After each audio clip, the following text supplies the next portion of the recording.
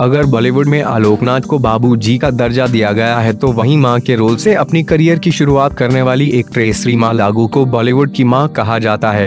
Industry में शायद ही कोई ऐसी एक ट्रेस हो जिसने माँ के किरदार को रीमा लागू से अच्छा किया हो। यही वजह है कि नब्बे के दशक की अधिकतर फ़िल्मों में रीमा लागू को हमने माँ के किरदार में ही देखा है।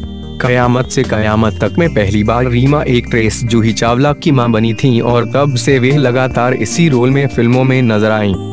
हालाँकि एक बार रीमा ने कुछ एक्सपेरिमेंट करते हुए अपने आप को अलग रोल में ढालने की कोशिश की थी, लेकिन वे ऐसा करने में असफल रही।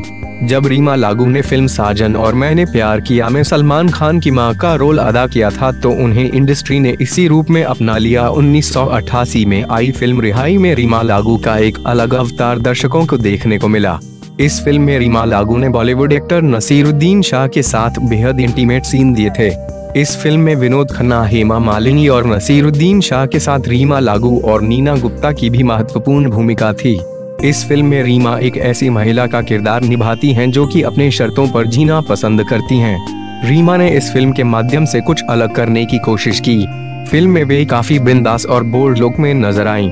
हालाँकि रीमा के इस नए अवतार को दर्शकों ने नकार दिया इतना ही नहीं, इस रोल को लेकर उनकी काफ़ी आलोचनाएँ भी की गई रीमा ने अपने आलोचकों को तो किसी तरह शांत करवा लिया, लेकिन इसके साथ वह एक बात समझ गई थी कि वो बॉलीवुड में माँ से ज़्यादा बेहतर और किसी किरदार को नहीं निभा सकती और न ही लोग उन्हें किसी और किरदार में देखना पसंद करेंगे।